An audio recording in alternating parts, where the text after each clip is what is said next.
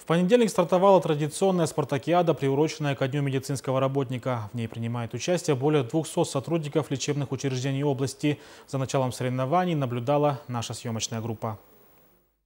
В течение 10 дней участники спартакиады медиков будут соревноваться в шести видах спортивных игр. Это легкая атлетика, толус-кумалак, шахматы, шашки, настольный теннис и перетягивание каната. Третий выходной июня – это у нас День медика.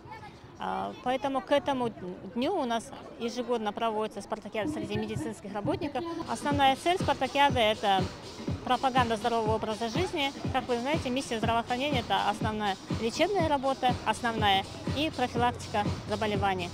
То есть э, профилактика заболевания – это основное пропаганда здорового образа жизни.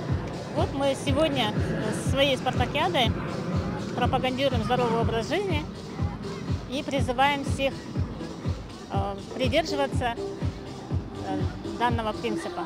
В спартакиаде принимают участие работники 17 учреждений районов. Заявки подали и городские медицинские центры, 43 поликлиники и 10 стационаров. Сегодня участвуют с, нашей поликлиники, с шестой поликлиникой, э, четверо э, наших сотрудников.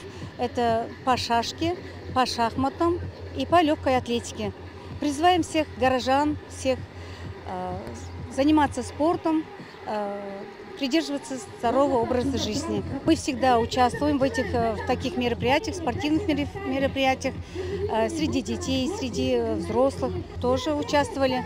А Наши э, спортсмены, э, наши э, сотрудники э, получили призовое второе место, третье место. Спартакиада завершится 15 июня. Награждение победителей пройдет в торжественной обстановке в День медиков.